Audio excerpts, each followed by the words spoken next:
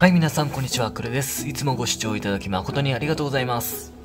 ということで、今回はこちらのテレストリスファイアサラマンダーケージ、こちらの低唱の入れ替えと、サラマンダーの成長を見ていきたいと思います。そして赤原の方なんですけど、もう、ガラスの張り替えを完了してまして、レイアウトも少しずつ進めておりますので、もうしばらくお待ちくださいという感じです。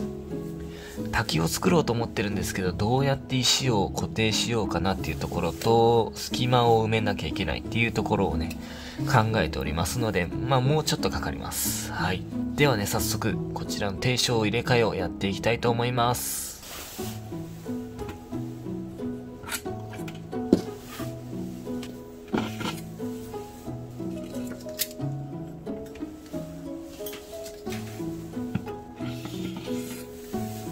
はい、このようになってまして、ちょっとね、やっぱこれを置いたことによって水をあげるんですけど、それで低床がかなり湿っちゃってて、こういう、奥まではかなり乾燥した状態だったんですけど、うん、どうなんでしょうね、これは。いいのか悪いのかわからないんですよね。まあいいか。一旦ここら辺のものを取り除き、取り出します。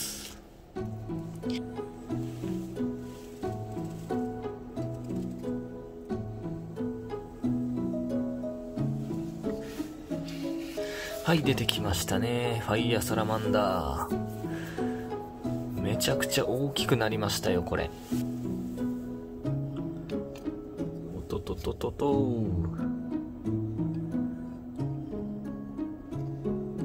今がだいたい10センチですね。10センチ。去年の11月8日に来た時が8センチくらいだったので2センチか。12、1、2、3ヶ月で2センチくらい成長しております。二回りくらいはね、大きくなってるなと思います。よし、じゃあこっちに移します。あんま触りたくないけど。はい。ムチムチやなはい、移しました。餌はイエコと、最近はレプトミンですね。を与えております。はい。よし、ちょっとこの状態で置いとこう。あ、ふたふたふた。はい、すまねえなと。注意と。よし。はい、こういう感じで停止を入れ替えていきます。まあ、これ出せる仕様にしたけど、ここまで開放感あると出す必要がないなとは思うんですけど。まあいいか。よし。では入れ替えます。ちょっとね、これどれくらい水が溜まってるのかっていうのを見たいんで、ちょっと深めに掘ります。まあでも低床の入れ替えとかこういうメンテナンス系はできるだけ楽をしたい。まあ言っちゃあれ、言い方があれですけど、っていうのがあるので、まあ楽な方がいいに決まってますよね、そりゃ。なんでね、こういう、それもあってこういう作りにはしてみたんですけど、このケージは。まあ使い勝手悪いことはないですね。下までしっかり濡れちゃってますね。うん。まあ表面をちょっと取ってこの上に新しい赤玉土を入れていきます。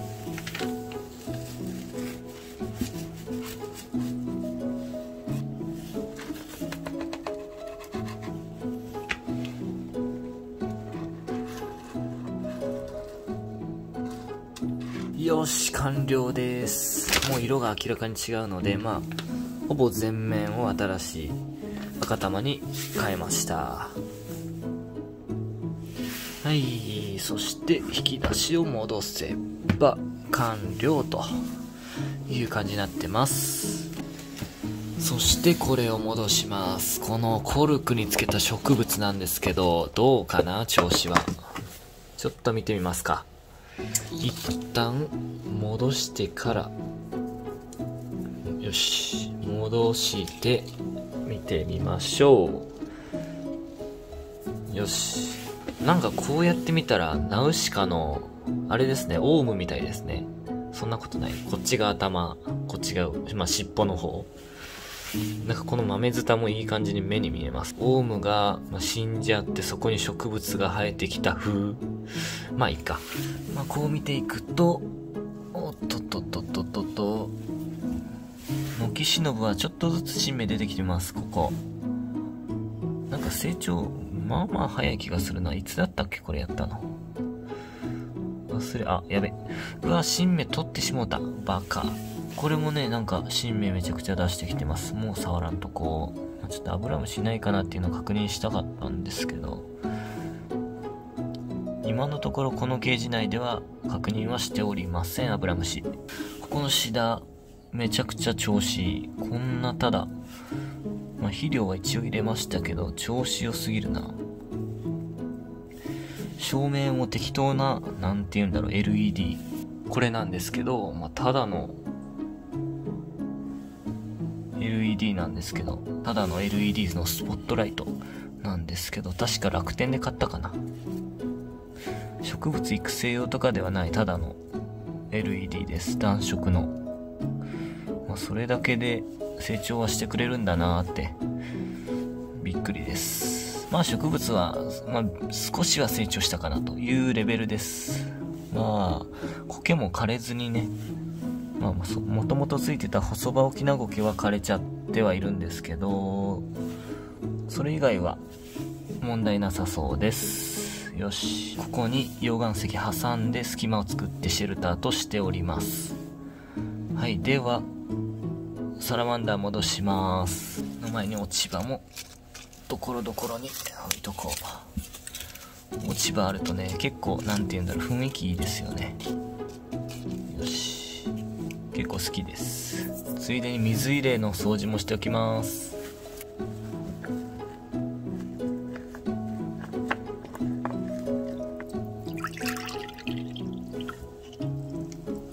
よし、OK です。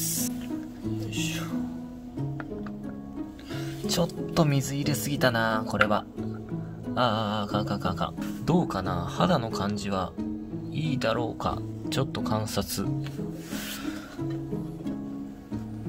どうかな？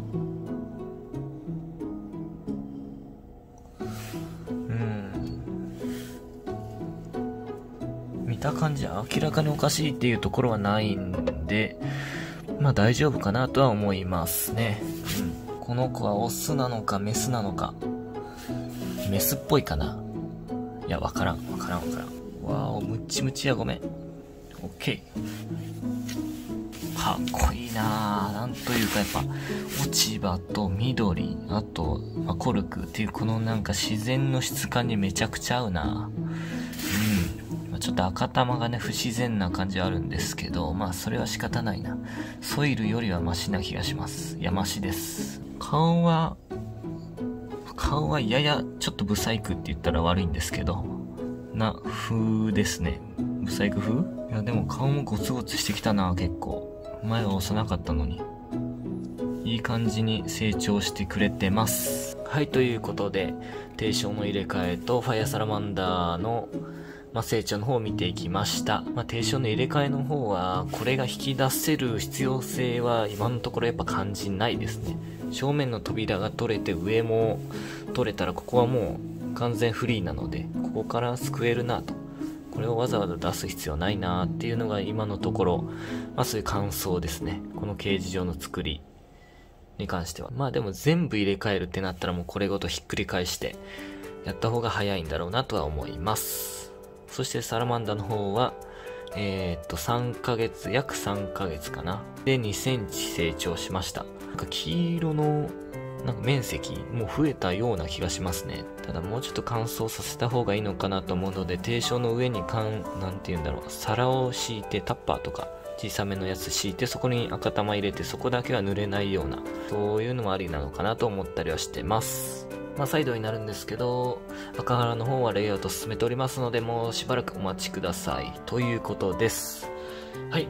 ではこれで終わります。ありがとうございました。またのご視聴をよろしくお願いします。